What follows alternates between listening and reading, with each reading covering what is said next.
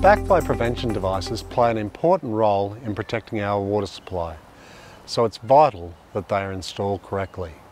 Incorrect installation can also affect successful testing of the device and can leave the devices subject to vandalism or damage.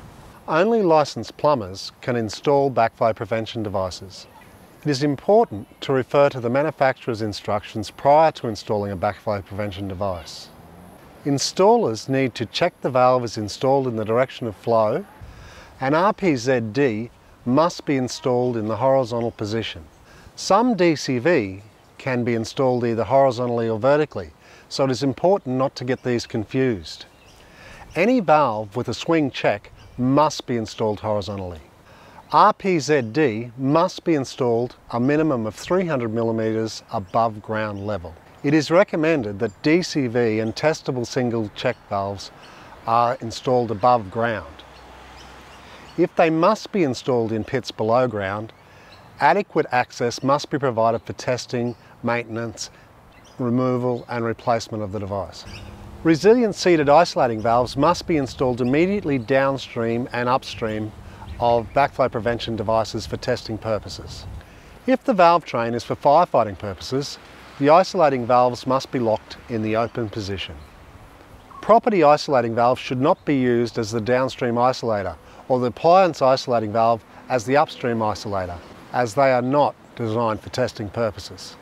Line strainers must be installed to all backflow prevention devices, except for devices used for firefighting.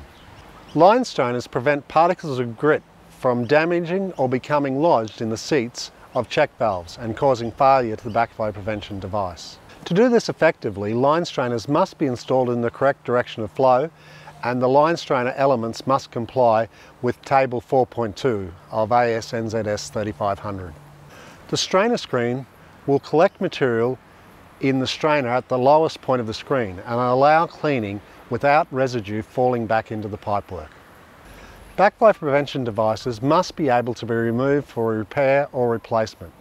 Barrel unions should be used to allow the valves to be disconnected.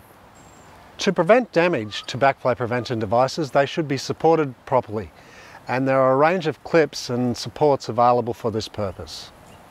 Installers should also consider if the backflow prevention device will be subject to tampering or vandalism, as a cage or cover may be required. Backflow prevention devices must be tested every 12 months, so you need to ensure adequate access for testing purposes. It is recommended that the device be installed 100 millimetres from any wall.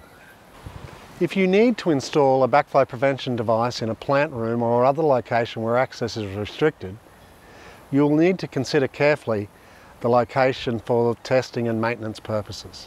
Guidelines for backflow prevention are available on Council's website.